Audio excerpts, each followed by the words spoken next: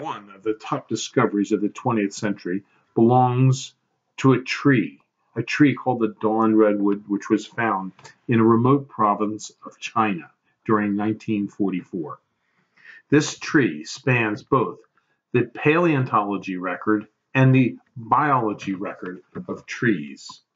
This tree existed before dinosaurs and will likely exist after man no longer walks on the planet Earth. This tree can grow very fast. It likes wet areas. It likes clay.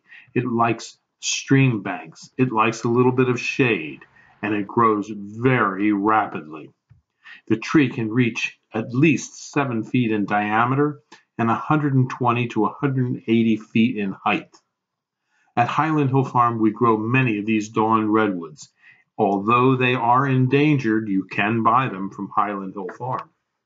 We ship them as bare root seedlings and transplants.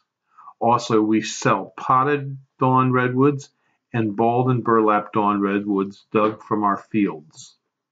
If you'd like a dawn redwood, call us at 215 651 8329 and we'll talk about how we can get you a dinosaur tree.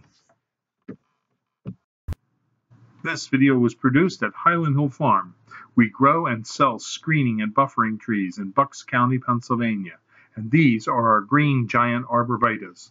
Call us for your screening tree needs at 215 651 8329.